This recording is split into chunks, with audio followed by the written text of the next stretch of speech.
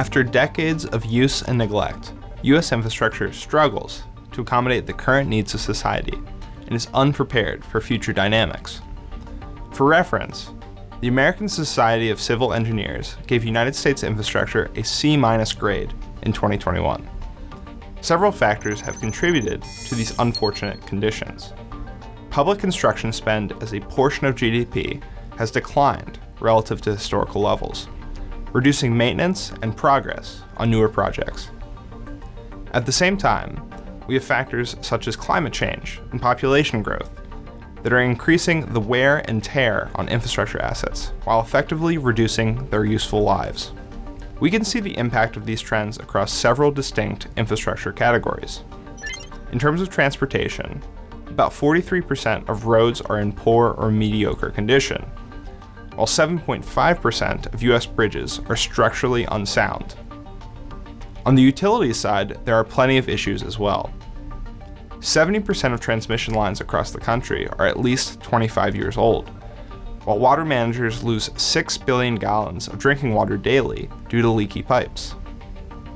The American Society of Civil Engineers forecast that between 2020 and 2029, $2.59 trillion in US infrastructure spending needs will go unmet.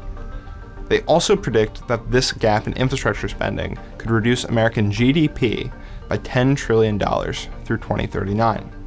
Although the condition of infrastructure in the United States represents an economic hurdle, we also view this challenge as a driver of demand for the companies that could ultimately fix the situation.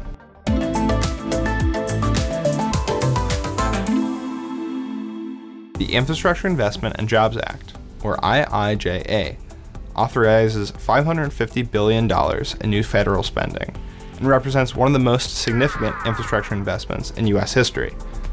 The bill certainly goes a long way toward building and developing traditional transportation infrastructure assets.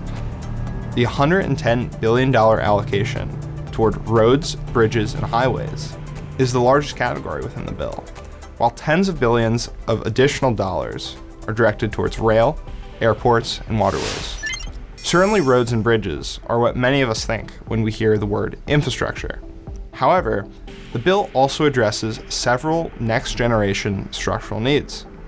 For instance, the IIJA dedicates $73 billion for power infrastructure and grid improvement, $65 billion for digital infrastructure and broadband, and $15 billion toward EV charging and electrified transportation. As such, the IIJA not only delivers upgrades to long-standing infrastructure needs in the United States, but also prepares us for disruptive trends such as grid electrification or surging data volumes.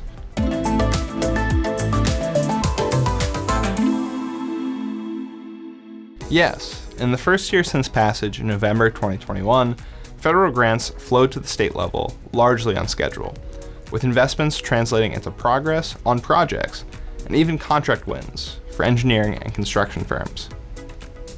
Over $185 billion in IIJA funding is now available at the state level, and more than 10,000 projects can be connected to these investments, according to White House data.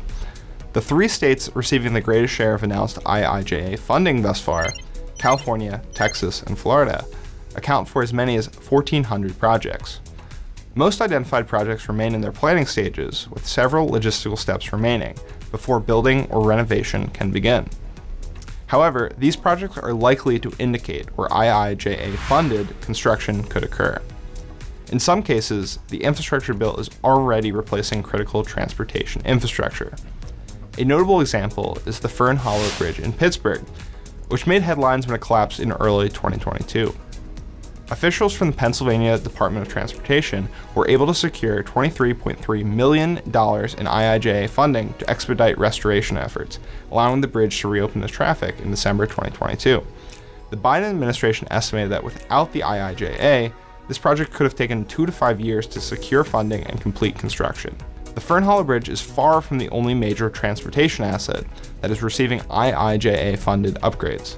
To date, IIJA funding is responsible for launching 2,800 bridge repair and replacement projects across the country, according to the White House. IIJA implementation is only beginning, but early results are encouraging for participants in the U.S. infrastructure space. we think it is important to remember that this package is not intended as instantaneous stimulus. Rather, it is a long term investment that is likely to play out over more than a decade.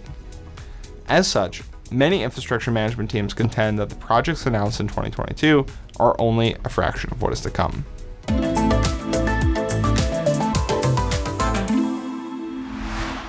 We think supply chain reshoring is a considerable one.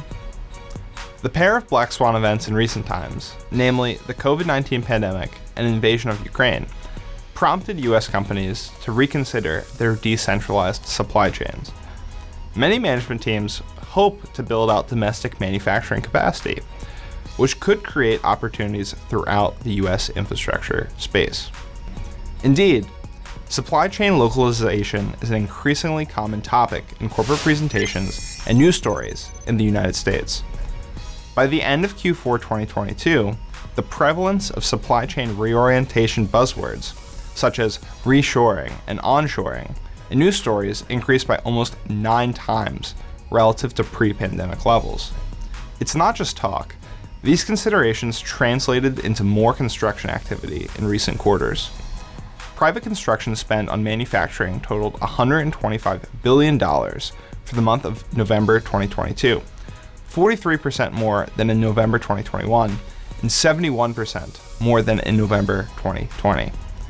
Additionally, private manufacturing construction grew nearly four times faster than all other private construction between November 2020 and November 2022.